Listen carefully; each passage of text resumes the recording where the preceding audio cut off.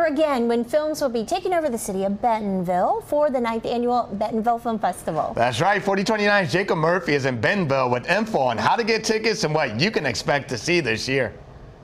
Hey, good morning, guys. Well, tickets for the festival can be bought online or right here at the Meteor Guitar Gallery in downtown Bentonville.